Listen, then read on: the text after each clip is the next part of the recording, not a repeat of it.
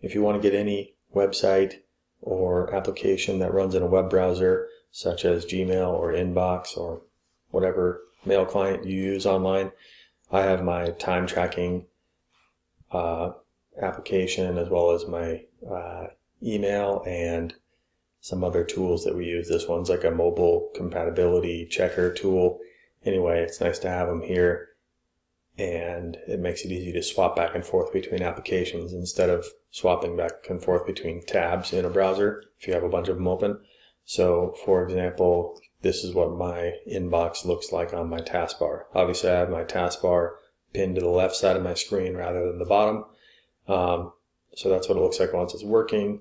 Um, to get it there, uh, you have to open up the website or inbox. In this example, we'll just stick to inbox. I opened up inbox in my browser in Chrome and I hit the little three little dots here. I chose more tools and then created a shortcut.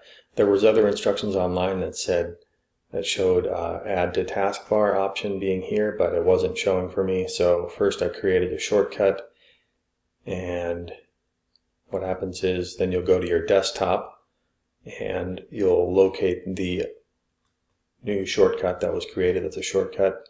So this was on my desktop. I right clicked on it and I chose pin to taskbar.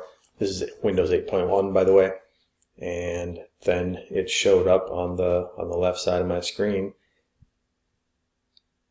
And you can actually drag it around if you want this one to appear above that one or to the left or right of it. You can move these around.